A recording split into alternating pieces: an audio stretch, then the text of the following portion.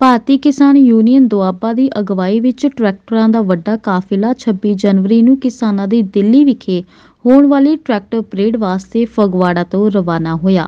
ਇਸ ਮੌਕੇ ਭਾਰਤੀ ਕਿਸਾਨ ਯੂਨੀਅਨ ਦੁਆਬਾ ਦੇ ਕਿਰਪਾਲ ਸਿੰਘ ਮੂਸਾਪੁਰ ਨੇ ਕਿਹਾ ਕਿ ਟਰੈਕਟਰ ਮਾਰਚ ਵਿੱਚ ਦੁਆਬਾ ਤੋਂ ਹਜ਼ਾਰਾਂ ਕਿਸਾਨ ਆਪਣੇ ਆਪਣੇ ਟਰੈਕਟਰਾਂ ਸਮੇਤ ਰਵਾਨਾ ਹੋਣਗੇ ਤੇ ਰੋਜ਼ਾਨਾ ਵੱਡੀ ਗਿਣਤੀ ਵਿੱਚ ਕਿਸਾਨ ਟਰੈਕਟਰਾਂ ਸਮੇਤ ਦਿੱਲੀ ਲਈ ਰਵਾਨਾ ਹੋ ਰਹੇ ਹਨ। ਫਗਵਾੜੇ ਤੋਂ ਇੱਕ ਵੱਡਾ ਜਥਾ। ਹਜ਼ਾਰਾਂ ਦੀ ਗਿਣਤੀ ਟਿਕਟ ਟਰਾਲੀਆਂ ਦਾ ਸੰਗਤ ਦਿੱਲੀ ਕਿਸਾਨ ਮੋਰਚੇ 'ਚ ਸ਼ਾਮਲ ਹੋਣ ਜਾ ਰਹੇ ਆ, ਜਿਹੜਾ 26 ਦੀ ਗਣਤੰਤਰ ਦਿਵਸ ਤੇ ਟਰੈਕਟਰ ਪਰੇਡ ਹੈ, ਉਹਦਾ ਹਿੱਸਾ ਬਣ ਜਾ ਰਹੇ ਆ।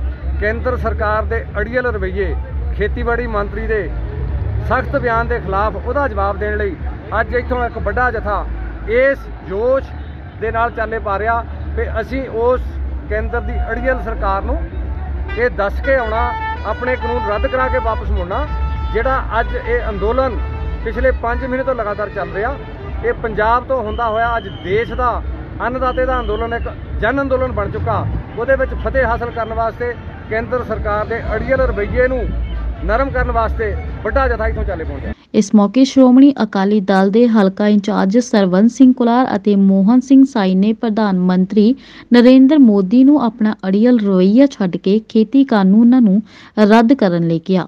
ਭਾਰਤੀ ਕਿਸਾਨ ਯੂਨੀਅਨ ਦੁਆਬਾ ਵੱਲੋਂ ਜੋ ਬਹੁਤ ਵੱਡਾ ਟਰੈਕਟਰਾਂ ਦਾ ਇਕੱਠ ਅੱਜ ਦਿੱਲੀ ਜਾ ਰਿਹਾ, ਇੱਥੇ ਮੌੜੀ ਜੋ ਲੰਗਰ ਆ, ਪਿਛਲੇ 2 ਮਹੀਨੇ ਤੋਂ ਲਗਾਤਾਰ ਚੱਲ ਰਿਹਾ ਹੈ, ਸਾਰੇ ਦੀਆਂ ਸਹਿਯੋਗ ਦੇ ਨਾਲ ਇੱਥੇ ਸਾਰੇ ਰੋਕੇ ਇਕੱਠਾ ਕਾਬਲੇ ਦੇ ਰੂਪ ਵਿੱਚ ਤੁਰੇ ਆ। ਗੁਰੂ ਮਹਾਰਾਜ ਦੇ ਚਰਨਾਂ 'ਚ ਅਰਦਾਸ ਕੀਤੀ ਕਿ ਸੱਚੇ ਪਾਤਸ਼ਾਹ, ਅਸੀਂ ਦਿੱਲੀ ਫਤਿਹ ਕਰਕੇ ਵਾਪਸ ਆਉਣਾ। ਕਿਉਂਕਿ ਪਹਿਲਾਂ ਵੀ ਜਦੋਂ ਸਿੰਘਾਂ ਨੇ ਮੋਰਚੇ ਲਾਏ ਆ, ਤਾਂ ਹਮੇਸ਼ਾ ਦਿੱਲੀ ਜਿੱਤ ਕੇ ਆਉਂਦੇ ਰਹੇ, ਉੱਥੇ ਝੰਡਾ ਚੜਾ ਕੇ ਆਉਂਦੇ ਰਹੇ ਆ। ਹੁਣ ਵੀ ਇਹ ਕਾਲੇ ਕਾਨੂੰਨ ਖਤਮ ਕਰਕੇ ਹੀ ਇਹ ਸਾਡੇ ਬਹਾਦਰ ਸੂਰਮੇ ਗੁਰੂ ਮਹਾਰਾਜ ਦਾ ਵੋਟ ਆਸਰਾ ਲੈ ਕੇ ਚੱਲੇ ਆ ਤੇ ਉਤੋਂ ਫਤਿਹ ਕਰਕੇ ਆਉਣਗੇ। ਦੂਸਰਾ ਇਹ ਬੇਨਤੀ ਹੈ ਵੀ ਆਪਾਂ ਮੋਰਲੀ ਵੀ ਫਿਜ਼ੀਕਲੀ ਵੀ ਔਰ ਫਾਈਨੈਂਸ਼ੀਅਲੀ ਵੀ ਇਹ ਪੂਰੀ ਤਰ੍ਹਾਂ ਸਾਰੇ ਸਪੋਰਟ ਕਰੀਏ ਤਾਂ ਜੋ ਇਹ ਮੋਰਚਾ ਜਿਹੜਾ ਫਤਿਹ ਹੋਵੇ। ਅੱਜ ਜੋ 26 ਤਰੀਕ ਸਾਡੀ ਜਥੇਬੰਦੀਆਂ ਨੇ ਦਿੱਤੀ ਸੀਗੀ, ਉਹਦੇ ਸੰਬੰਧ ਵਿੱਚ ਅੱਜ ਹਜ਼ਾਰਾਂ ਦੀ ਤਾਦਾਦ ਵਿੱਚ ਦੁਆਬਾ ਯੂਨੀਅਨ ਮੋੜੀ ਤੋਂ ਟਰੈਕਟਰ ਦਾ ਜਥਾ ਰਵਾਨਾ ਹੋਇਆ। ਔਰ ਹਰ ਜ਼ਿਲ੍ਹੇ ਚੋਂ ਬੇਗੰਟ ਟਰੈਕਟਰ ਜਾ ਰਿਹਾ। ਜਦਕਿ ਦਿੱਲੀ ਦੇ ਵਿੱਚ ਟਰੈਕਟਰ ਬਣਨ ਦੀ ਜਿਹੜੀ ਕਿਹੜੀ ਬੰਦੇ ਖੜੇ ਹੋਣ ਜੋਗੀ ਵੀ ਜਗ੍ਹਾ ਨਹੀਂ ਛੱਡੂਗਾ ਪੰਜਾਬ ਆਮ ਇਲਾਕਾ। ਔਰ ਮੈਂ ਜਥੇਬੰਦੀਆਂ ਨੂੰ ਅਪੀਲ ਕਰਦਾ ਕਿ ਕੱਲੀ 26 ਤਰੀਕ ਦੀ ਡੇਟ ਜਿਹੜੀ ਆ, ਉਹਦੇ ਨਾਲ ਨਹੀਂ ਸਹਿਮਤੀ।